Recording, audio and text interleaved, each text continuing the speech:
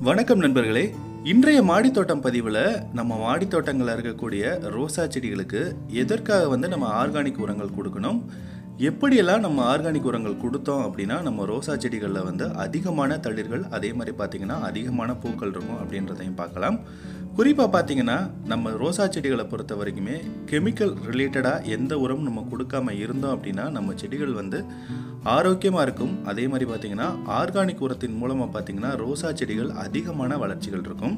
வெயில் காலங்களை பொறுத்த வரைக்குமே ரோசா செடிகள் வந்து அதிகமாக வாடுறதுக்கான வாய்ப்புகள் இருக்குது அதில் குறிப்பாக பார்த்தீங்கன்னா ரோசா செடிகளில் இலை கருகுதல் முட்டுகள் கருகுதல் புது தளிர்கள் வந்தாலுமே வந்து நமக்கு வேகமாக கருகிறதுக்கான வாய்ப்புகள் இருக்குது அதுக்காக தான் நான் திரும்ப திரும்ப சொல்கிறேன் ரோசா செடிகளை பொறுத்த வரைக்குமே நம்ம ஆர்கானிக் உரங்களை வந்து ரெகுலராகவே பயன்படுத்தணும் அப்படின்னு சொல்கிறேன் சரி ஆர்கானிக் உரங்கள் அப்படின்னா என்ன? எதுக்காக வந்து நம்ம ரோசா செடிகளுக்கு பயன்படுத்த சொல்கிறோம் அப்படின்றத பார்க்கலாம்.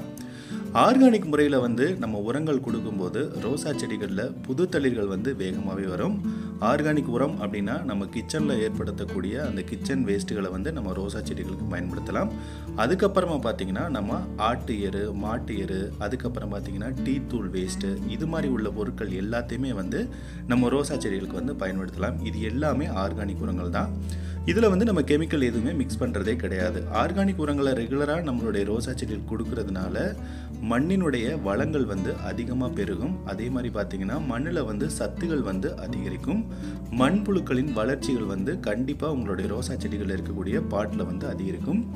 மண்புழுக்கள் அதிகம் இருந்தால் மட்டுமே வந்து நம்மளுடைய ரோசா செடிகளில் வந்து வளர்ச்சிகளை வந்து அதிகரிக்கிறதுக்கு அது உறுதுணையாக இருக்கும். இதே நம்ம வந்து கெமிக்கல் ரிலேட்டடாக உரங்கள் கொடுத்துட்டோம் அப்படின்னா மண்புழுக்கள் வந்து நம்ம ரோசா செடிகளில் வராது. ஏன்னா கெமிக்கல் வந்து நம்மளுடைய மண்புழுக்கள் வந்து சுத்தமாகவே செட் ஆகாது. அது இறந்து போயிடும். அதனால் வந்து மண்ணின் வளம் வந்து கம்மியாயிடும். அதுக்காக தான் நம்ம ரோசா செடிகளுக்கு வந்து ஆர்கானிக் முறையில் வந்து உரங்கள் கொடுக்கணும் அப்படின்றத ரொம்பவே தெளிவாக சொல்கிறேன் கண்டிப்பாக இந்த வீடியோ வந்து ரொம்பவே யூஸ்ஃபுல்லாக இருக்கும் அப்படின்னு நான் நினைக்கிறேன். இந்த வீடியோ உங்களுக்கு பிடிச்சிருந்தது அப்படின்னா மறக்காமல் உங்கள் நண்பர்களுக்கும் ஷேர் பண்ணுங்கள் மீண்டும் ஒரு சூப்பரான ஒரு கார்டன் அப்டேட்டில் உங்களை நான் சந்திக்கிறேன். ரொம்ப நன்றி.